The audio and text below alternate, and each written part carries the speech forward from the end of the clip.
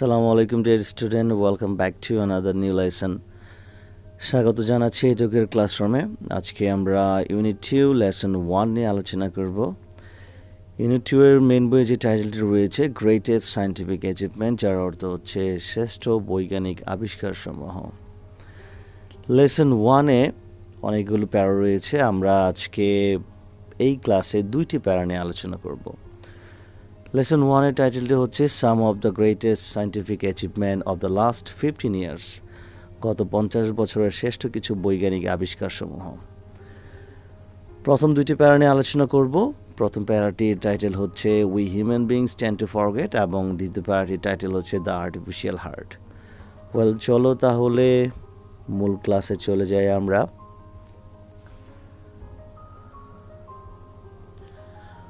বরাবরের মতোই আমরা যেটা করব, প্রত্যেকটি ক্লাসে যেটা আমরা করে থাকি, প্রথমে আগে আমরা শব্দের অর্থগুলো জেনে নেই। শব্দের অর্থগুলো মুখস্থ করার পর আমরা প্যাসেসের ফ্রেজ এবং বা বাক্যের অর্থগুলো আমরা জানব। প্রথমে আমরা শব্দের অর্থগুলো জেনে নিব।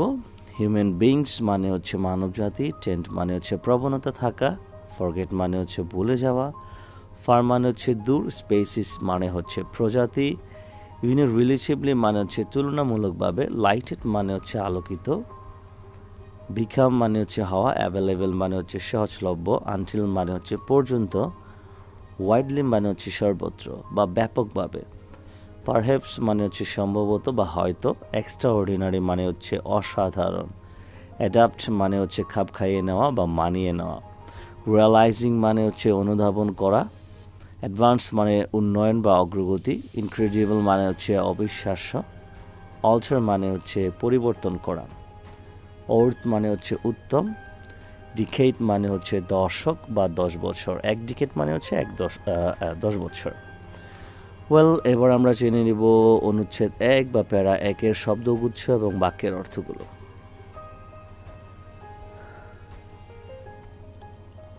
ওয়েল উই হিউম্যান বিংস আমরা মানব জাতির বা আমরা মানব জাতিরা টেন টু ফরগেট ভুলে যাওয়ার প্রবণতা রয়েছে বা আছে হাউ ফার কত দূর পর্যন্ত উই হ্যাভ কাম আমরা এসেছি অ্যাজ এ স্পেসিস একটি প্রজাতি হিসেবে। In a relatively short of time তুলনামূলকভাবে অতি অল্প সময়ের মধ্যে। সব ফ্রেজগুলো বা পুরো লাইনটা যদি আমরা একত্রে করি তার অর্থ দাঁড়াচ্ছে আমরা মানব জাতির বা আমাদের মানব জাতিদের ভুলে যাওয়ার একটি প্রবণতা রয়েছে। যত দূর পর্যন্ত আমরা এসেছি প্রজাতি হিসেবে, খুব কম সময়ে বা অল্প সময়ের মধ্যে। ইট ওয়াজ এটা ছিল only in the eighteen seventy century উনিশশো আশির দশক ওয়েন যখন we had the first house আমরা পেয়েছিলাম প্রথম বাড়ি that was lighted with electricity যেটা ছিল বৈদ্যুতিক আলোয় আলোকিত। তার মাঝে মানে হচ্ছে উনিশশো আশি দশকেই প্রথম আমরা বৈদ্যুতিক আলোয় আলোকিত প্রথম বাড়ি পেয়েছিলাম, যে বাড়িগুলোতে বিদ্যুতের আলোয় আলোকিত হয়েছিল। কার্স জাস্ট স্টার্টেড গাড়িগুলো মাত্র শুরু হয়েছিল বা শুরু করেছিল টু বিকাম অ্যাভেলেবেল সহজলভ্য হতে। হান, তার মানে হচ্ছে উনিশশো আশির দশকে গাড়িগুলো তখন শুধুমাত্র সহজলভ্য হওয়া শুরু হয়েছিল। হান্ড্রেড ইয়ার্স এগেও একশো বছর আগে Charles Lindenberg, Charles Lindbergh Charles Lindbergh পরিচালনা করেছিলেন the first trans Atlantic flight, প্রথম trans Atlantic flight in nineteen twenty seven উনিশশো সালে। টেলিভিশন ডিডেন বেকাম টেলিভিশন ছিল না ওয়াইডলি অ্যাভেলেবেল সর্বত্র সহজলভ্য until after World War two দ্বিতীয় বিশ্বযুদ্ধের পর পর্যন্ত। তার মানে এখন যতটা আমরা টেলিভিশন অ্যাভেলেবেল পাচ্ছি, দ্বিতীয় বিশ্বযুদ্ধের পর পর্যন্ত টেলিভিশনটা এত বেশি সহজলভ্য ছিল না বা সবার বাড়িতে ছিল না। ইন আদার ওয়ার্ডস অন্যভাবে বলা যায় দ্য অ্যাডভান্সেস হিউম্যান কাইন্ড মানব জাতির এই উন্নয়ন হ্যাজ মেড করেছে in a relatively short period of time তুলনামূলকভাবে কম সময়ে। এই যে আমাদের মানব জাতির অল্প সময়ের মধ্যে বা তুলনামূলকভাবে কম সময়ের মধ্যে যে উন্নয়ন ঘটেছে হ্যাভ বিন নাথিং শর্ট কম কিছু নয় অফ এক্সট্রা অর্ডিনারি অসাধারণের চেয়ে perhaps just as extraordinary is সম্ভবত এটাই সাধারণ যে how we tend to simply adapt কত সহজে আমরা মানিয়ে নিচ্ছি টু দিস ইনক্রেডিবল চেঞ্জেস এসব অবিশ্বাস্য পরিবর্তনগুলোর সাথে এই পর্যন্ত যদি আমরা অর্থগুলো একত্রিত করি, তার মানে হচ্ছে এই যে অসাধারণ যে বিষয়গুলো, এগুলো কিন্তু কম কিছু নয়। কিন্তু এই বিষয়গুলো আমাদের কাছে সাধারণ হয়ে গিয়েছে যে আমরা এত সহজে এই অসাধারণ বা অবিশ্বাস্য পরিবর্তনগুলোর সাথে মানিয়ে নিয়েছি। নট রিয়ালাইজিং না বুঝেই হাউ কম্পি হাউ কমপ্লিট আওয়ার ওয়ার্ক কতটা সম্পূর্ণভাবে আমাদের পৃথিবী হ্যাজ বিন অল্টারটেড পরিবর্তিত হয়েছে। এই যে এত অল্প সময়ের মধ্যে আমরা আমাদের পৃথিবীটাকে পরিবর্তন করেছে, এটা সব কিছু না বুঝেই আমরা আসলে মানিয়ে নিচ্ছি in a short span of time খুব স্বল্প বা অল্প সময়ের মধ্যে। উইথ দ্যাট ইন মাইন্ড এটি মনে রেখেই it is work looking back ফিরে দেখাই উত্তম। অ্যাট সাম কিছু of the amazing scientific advances অবিশ্বাস্য বৈজ্ঞানিক আবিষ্কার উই হ্যাভ মেড আমরা অর্জন করেছি of the last few decades বিগত দশকে। তার মানে হচ্ছে খুব কম সময়ের মধ্যে আমরা যে পরিবর্তনগুলো করেছি, এগুলো অবশ্যই অবিশ্বাস্য পরিবর্তন এবং আমরা না বুঝে আমাদের এই পৃথিবীটাকে সম্পূর্ণভাবে পরিবর্তন করেছি। তবে এটি মনে রেখেই আমাদেরকে ফিরে দেখা উত্তম যে আমরা কিছু অবিশ্বাস্য বৈজ্ঞানিক আবিষ্কার গত কয়েক দশকে অর্জন করেছি। ওয়েল এই ছিল প্যারা ওয়ানের শব্দের অর্থ এবং শব্দগুচ্ছের অর্থগুলো এখন আমরা চলে যাব প্যারা টুতে ওয়েল প্যারা টু এর শব্দের অর্থগুলো আগে আমরা জানব, তারপর প্যারা টু এর শব্দগুচ্ছ বা বাক্যের অর্থগুলো আমরা জেনে নেব। প্যারা টু এর টাইটেলটা আমরা আগেই জেনেছিলাম দ্য আর্টিফিশিয়াল হার্ট ওয়েল শব্দের অর্থগুলো আমরা খেয়াল করি পিক মানে হচ্ছে জাগিয়ে তোলা ইন্টারেস্ট মানে হচ্ছে আগ্রহ কোয়াইট মানে হচ্ছে বেশ প্রসপেক্ট মানে হচ্ছে সম্ভাবনা ইমপ্লান্ট মানে হচ্ছে প্রতিস্থাপন করা আর্টিফিশিয়াল মানে হচ্ছে কৃত্রিম স্টেপ মানে হচ্ছে পদক্ষেপ ইনক্রিজ মানে হচ্ছে বৃদ্ধি করা লাইফ স্পেন মানে হচ্ছে জীবনকাল ডেন্টিস্ট মানে হচ্ছে দন্ত চিকিৎসক, দাঁতের চিকিৎসা যারা যারা করে তাদেরকে আমরা ডেন্টিস্ট বলে থাকি। ইন্টেন্ট মানে হচ্ছে প্রত্যাশা করা সার্ভাইভ মানে হচ্ছে বেঁচে থাকা ডেভেলপমেন্ট মানে হচ্ছে উন্নয়ন ট্রান্সপ্লান্ট মানে হচ্ছে প্রতিস্থাপন করা এখানে আমরা একটু খেয়াল করি ইমপ্লান্ট ট্রান্সপ্লান্ট প্রায় একই ধরনের শব্দ। ভার্সন মানে হচ্ছে সংস্করণ করা অর্গান মানে হচ্ছে অঙ্গ প্রোডাক্টিভ মানে হচ্ছে ফলপ্রসূ, ও মানে হচ্ছে ঋণী। ওয়েল এই ছিল প্যারাটুয়ের শব্দের অর্থগুলো, আমরা এখন শব্দগুচ্ছের অর্থগুলো বা বাক্যের অর্থগুলো জেনে নেব। প্রথম যে লাইনটি শুরু হয়েছে দ্যার ইজ নাথিং এমন কিছু নেই দ্যাট পিক্স যেটা জাগিয়ে তোলে the interest of a human being একজন মানুষের আগ্রহ কোয়াইট অ্যাজ মাছ এত বেশি অ্যাজ দ্য প্রসপেক্ট সম্ভাবনার মতো of living a longer life দীর্ঘতর জীবন লাভের। ইমপ্লান্টিং এ পারসন এক ব্যক্তির প্রতিস্থাপন উইথ অ্যান আর্টিফিশিয়াল হার্ট কৃত্রিম হৃৎপণ্ড। খেয়াল করি আমরা এখানে যে এমন কিছু আসলে আমাদের নেই যেটা আমাদের জাগিয়ে তুলে একজন মানুষের আগ্রহ নিয়ে, এত বেশি আগ্রহ যে সম্ভাবনার মতো যেটা সম্ভব আমাদের দীর্ঘতর জীবন লাভের জন্য। তার মানে হচ্ছে আমরা সবসময় খুব বেশি জীবন লাভের জন্য বা আমাদের জীবনের আয়ু বেশি হোক এমনটাই আমরা সবসময় আশা বা আশা করে থাকি বা আগ্রহ দেখিয়ে থাকি।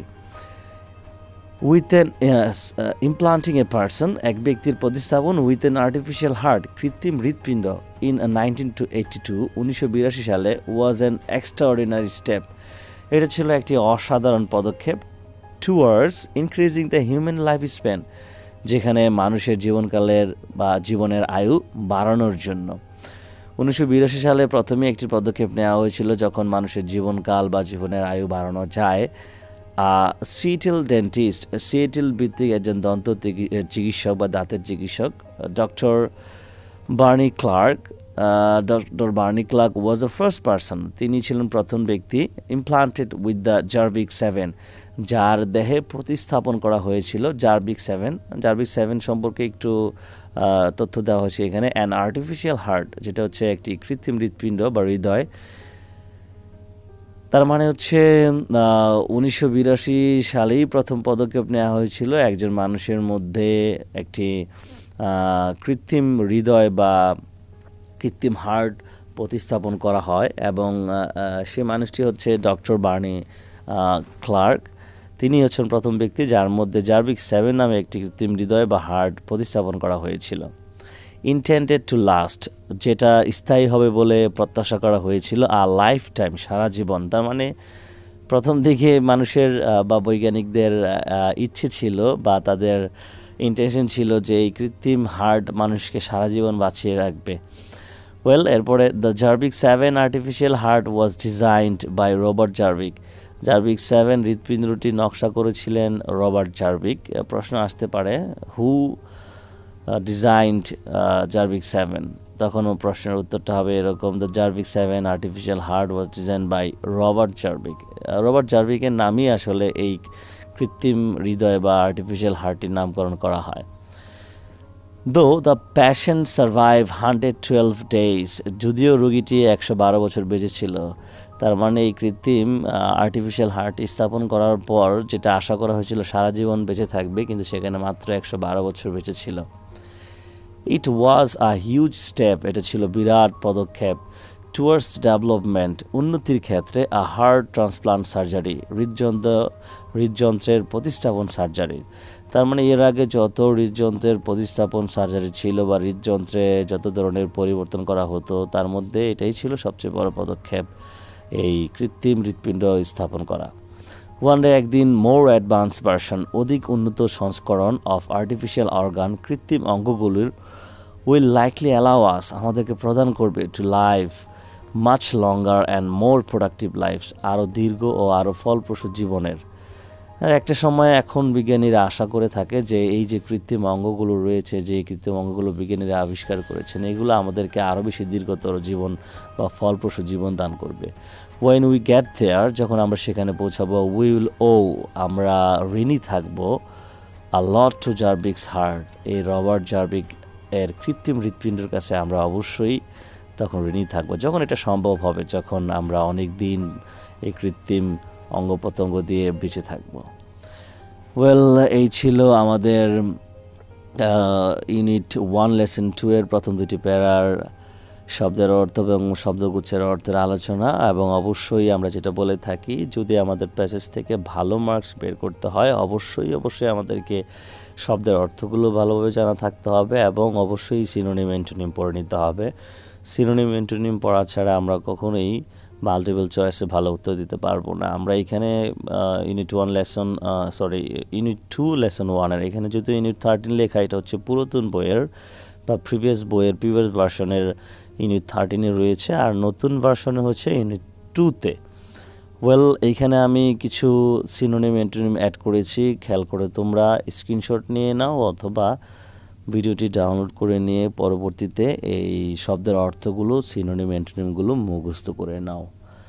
তাহলে এই মাল্টিপল চয়েসের আনসার খুব ভালোভাবে দিতে পারবে। আমি এখানে দিচ্ছি, তোমরা স্ক্রিনশট নিয়ে নাও।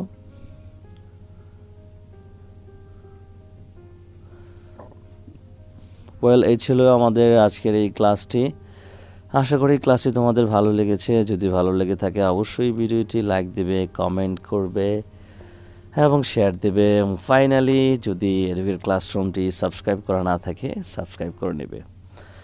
আজকে এ পর্যন্তই, ভালো থাকবে, সুস্থ থাকবে, আল্লাহ হাফেজ। যদি ভিডিওটি ভালো লাগে কমেন্ট করতে ভুলবেন না। এরকম আরও ভিডিও পেতে আমাদের চ্যানেলটিকে সাবস্ক্রাইব করুন।